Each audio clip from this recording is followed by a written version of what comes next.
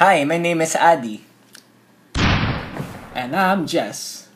and we're here to talk about Pinoy viral websites, aggregators, and clickbaits. So, what are aggregator websites and what do you mean by clickbaits? Aggregator websites are professional reposters of the stuff online. They're not to be confused with media websites that actually create content. These sites make money by luring people to their ad-filled pages, oftentimes by method of clickbaiting. Clickbaits are, well, links that use attention-grabbing titles that makes you want to click out of fear of missing out or what people call FOMO. fear of missing out. Most of the time, sila yung mga bitin na titles and headlines, such as the title of this video. We asked our viewers to share this video. The results will blow your mind, and it will change everything. We have our own viral websites that appeared in the recent years, such as TrendingPinoyNews.blogspot.com, Solsol.ph, Kicker Daily, Viral for Real, James Band, PinoyNewsPortal.com. Mukhang parehas din yung itsura niya sa ibang aggregator websites. At ang sabi nga sa kanyang disclaimer, wala daw siyang kasiguraduhan ng kanyang pinopost dito ay may accuracy, currency, o completeness. Ganyan din sa iba pang websites. Sketchy, di ba? Kung titignan ang mga sikat na aggregator websites na kumakalat sa social media, mapapansin natin na magkakamukha ang interface nila. Gumagamit sila ng grid sa gitna, video links at sidebars na puno ng content, at syempre, mga ads kung paano sila kumikita ng pera. Ang Upworthy, yung American website na nagpasikat ng clickbaiting, ay hindi gumagamit ng ads. Ngunit yung mga Pinoy websites ay gumagamit ng sobrang daming ads. Marami dito mga ads na galing sa mga mobile telecommunications, sa mga cellphone, broadband, meron ding e-commerce o buy and sell websites At madami ding online dating. For computations of earnings in content-heavy blogs, we have used this estimation formula. So an article with at least 1 million unique visitors could earn at least 16,000 pesos per ad, and that's only using Google AdSense. So kapag merong apat na ads sa isang page, pwede siyang kumita ng mga 50 to 70,000 per 1 million page impressions. All you have to do is repost stuff online. Dahil nakatago sa anonymity ang mga owners ng websites na ito, mahirap malaman kung sino ang mga nagmamanage sa kanila. Hindi imposible na magkakakonekta sila at nasa isang malaking network.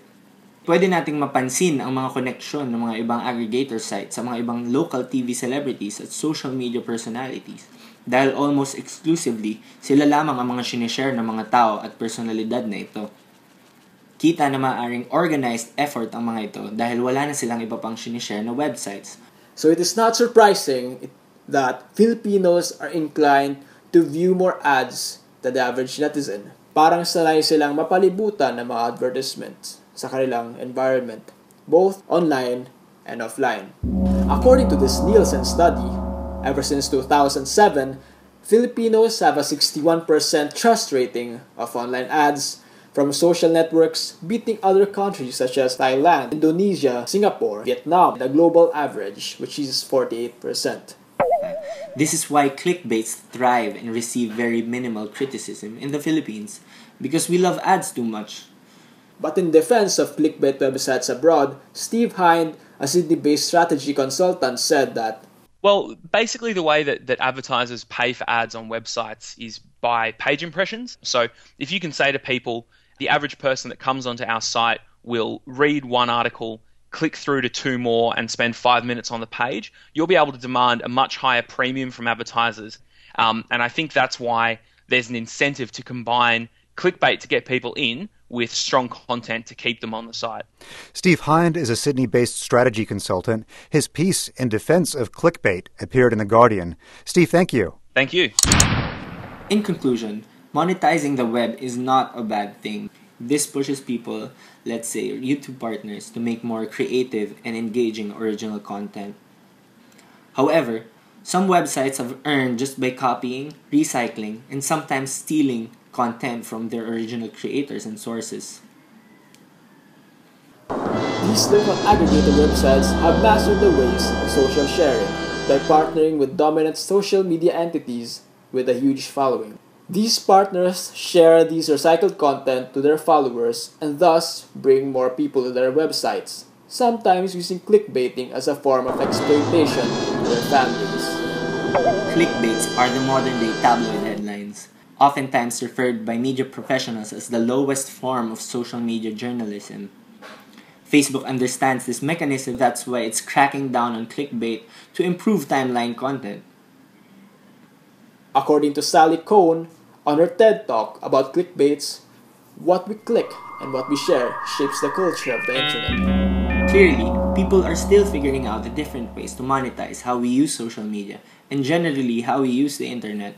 Being a very connected society as a social media and texting capital of the world, we believe these kinds of sites are receiving very little attention and criticism. Should Filipino netizens welcome these kinds of sites and methods in our online spaces? Let us know by writing your opinion in our comment section.